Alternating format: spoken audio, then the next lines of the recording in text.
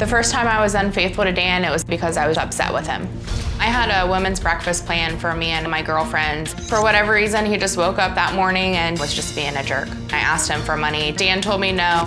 I'm a brat. I'm not really sure how else to put it. I got really upset and I reached out to an ex from the past. One thing led to another and we ended up having sex. When I got home, Dan immediately knew that something was wrong. He just kind of had a sixth sense. She was behaving totally different and very distant. Two days later, I did come clean.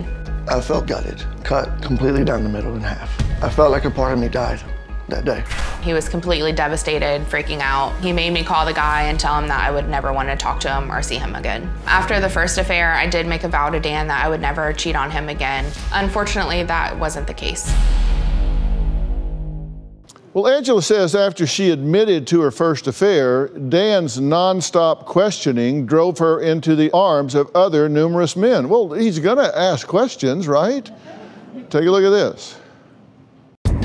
Following the first affair, Dan didn't give me a chance to redeem myself. Dan continuously accused me of talking and seeing other men when I wasn't. I just figured that if he was gonna accuse me, I was just gonna go ahead and do it.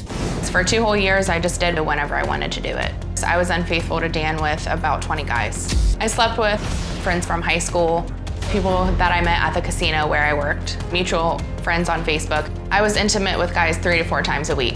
I would tell Dan that I had to work late when I got off earlier. On another occasion, I would tell him that I would have to cover shifts when I didn't have to go to work at all. There were times where I would leave for a couple days at a time to have sexual encounters. One time I even went out of town on a work vacation with another man. I ended up being gone for five days. At the time, I didn't feel any remorse. I was out of control. When I'm talking to these guys, I just get some sort of high of knowing how good they are in bed. I enjoy the danger, the risk, and the thrill of all of it. I have had sex that has involved choking and bondage. I've even had sex with a guy who happens to be a drug dealer.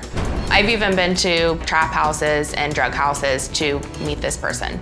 I do this for the excitement of it all. When I'm out doing these things, I completely block out being a wife, being a mother, it's just completely gone in my mind. For the longest time, I was able to keep all of my affairs a secret until one day my daughter found a video on my phone and showed it to Dan. Dan completely flipped out. When people look at me, they would never even think that I had a sexual addiction. I'm a wife, mother of four children. I've taught preschool. I've owned my own business, which is all completely opposite of the life I've been living. I know what I've done is wrong, but it's a struggle. Well, I'm glad you're here. Are you? Yes. Why? Because I'm going to get help. Now, you said Dan has begged me to stop, begged me to stop, but I just can't. You don't really want to stop, do you? Yes, I do want to stop. Why? You just said I get all of this out of it, so wh- why would you want to not have that? Because my family and um, having my husband is a lot more important to me than that.